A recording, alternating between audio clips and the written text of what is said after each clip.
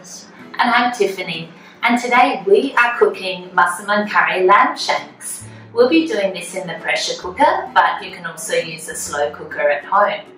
Now, this is one of Nick and my winter warmers, and we're especially delighted to bring this to you since we're severely missing our beef cheeks at City Tattersalls Club. Mm. So, Nick, can you take us through the ingredients? Alright, to start off, we've got four lamb shanks, three tablespoons of flour, we've got just a pinch of pepper, we've got one and a half cups of rice, we've got half an onion which we've diced up, And we've got five potatoes, peeled, sliced, and quartered.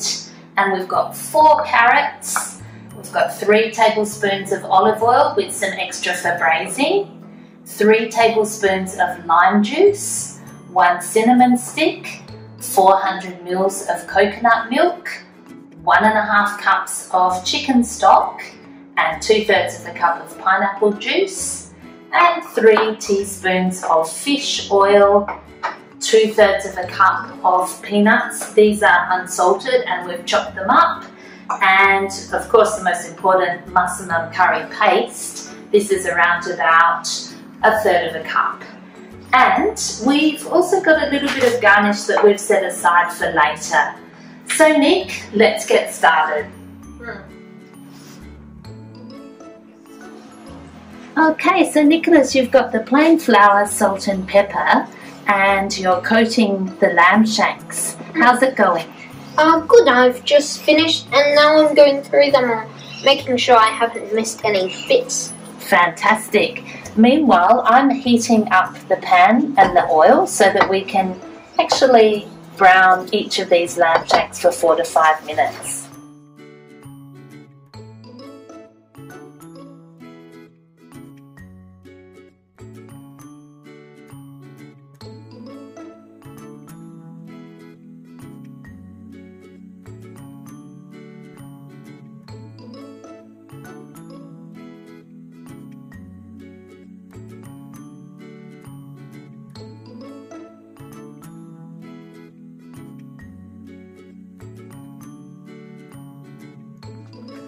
Right, great job, Nicholas.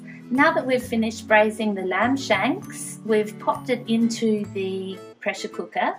I'm just going to put the cinnamon stick right at the bottom and now layer in the carrots and the potatoes ready for the next step.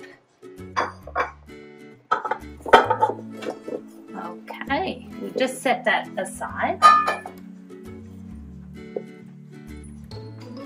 Nicholas, I've just turned the heat down to medium and we've got enough oil in there at the moment for us to just slowly cook these onions. Mmm.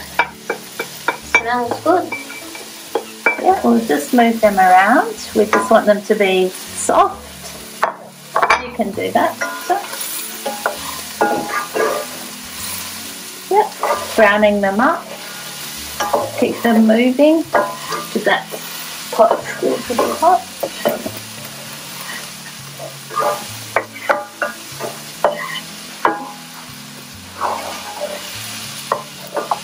Great. Okay, now let's add our massaman paste. Mmm, smelling good. And just move that around. Yep, keep moving it around. Just so that all the onions coated.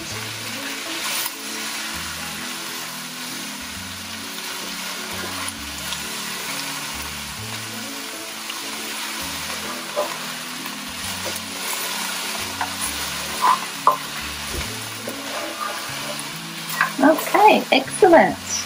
Thank you, Nicholas. There you go. Thank you. Excellent. I can really smell it.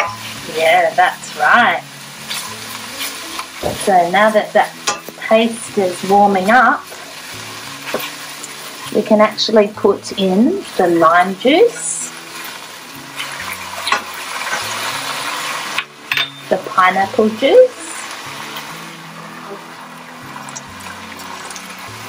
And the chicken stock. Oh. This is how we're forming our curry paste.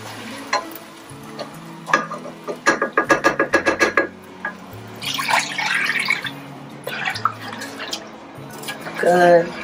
Can you mix that up? I've just got the fish sauce to go. Alright. Just Excellent. slowly Just slowly, and we need to bring that to the boil.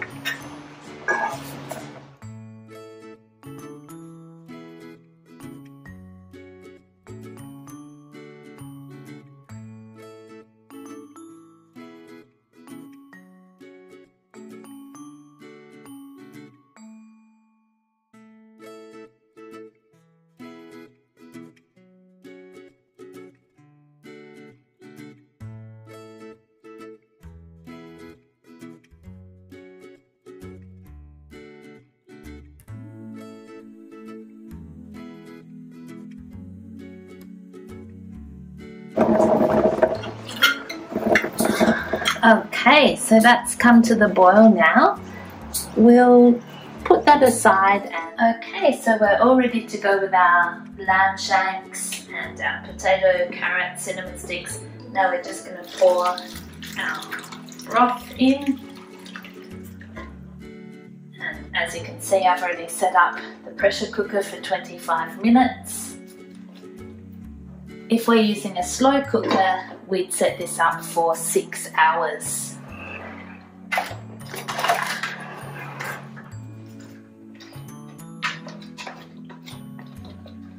Looks like some people in the family are going to have a 25 minute nap.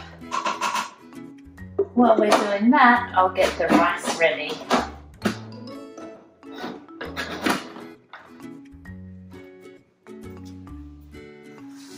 So while our massaman curry lamb is cooking, I'm going to prepare the rice. And as you remember, we measured out one and a half cups of rice, which is perfect for a family of four for this dish. We often get asked how much water to put in the rice cooker.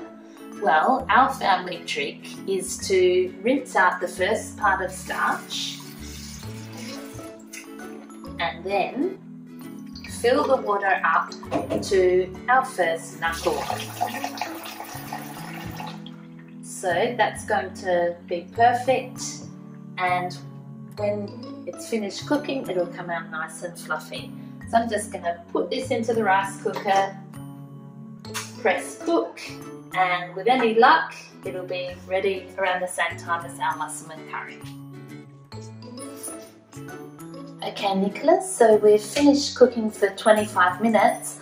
I've just put the coconut cream in and the pineapple. Can you hand me the peanuts? There you go. Excellent. And then I'll save a few, but we're good to go for another five minutes.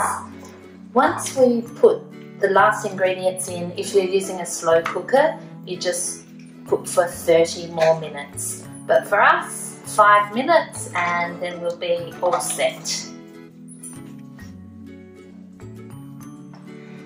Well, Nicholas, this is the final result. Mmm, looks yummy. So we've just plated it up with our rice and some garnish. In this case, we've got some dried anchovies, peanuts and chili and some coriander. Mmm.